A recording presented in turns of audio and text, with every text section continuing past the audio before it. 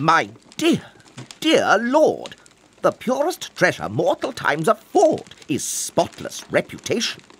Well said, Shakespeare. A spotless reputation is truly the most important and precious thing in any life. You may go.